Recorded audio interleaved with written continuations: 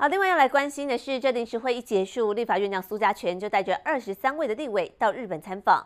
虽然强化台日交流很重要，但是这一次的参访却是争议连连。因为行程结束之后，不但正副院长都还要继续留在日本旅游。这乔宴晚会中呢，还有立委是西家带眷的参加，这多出来钱全部都由侨会来支付，就让大家质疑说，委员是不是公私不分呢？出访当出游。不过被点名的立委纷纷自清，说私人的行程。绝对都是自费。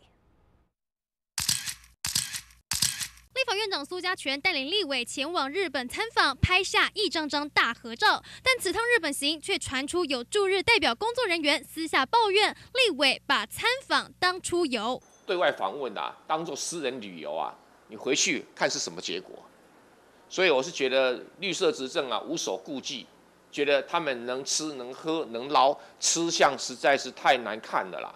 此趟出访总共二十三名委员出席，包括两位国民党立委。这些行程，立委们不但没有团进团出。八月四号结束后，立法院长苏家全还要到北海道打球，副院长蔡启昌也会陪着老婆小孩继续留在日本玩。就连乔宴晚会，民进党立委赵天麟也西家带眷参加。基本上他们就是有有这一次就是有很多自费的自费的人嘛，哈，那有有的是高雄团、台北团，但是我认为说。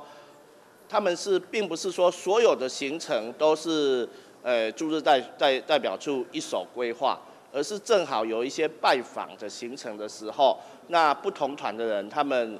诶，也也希望是可以参与，那一起来推展这个台日的一个外交关系。事发后，委员纷纷澄清，私人行程绝对自费。赵天林也强调，眷属参加参会都是有接受邀请，没有顺便。但是看在网友眼里，还是认为这样的参访规划公私不分。这一次呢，驻日代表处确实是有啊建议，就是啊呃赵赵委员他既然也在呃当地访问，那么在这样一个盛大的这个。呃，所有的重要侨团的侨领都来参加的活动里面，啊，他如果也能够参加的话，确实是啊，更有助于那那次活动的效益。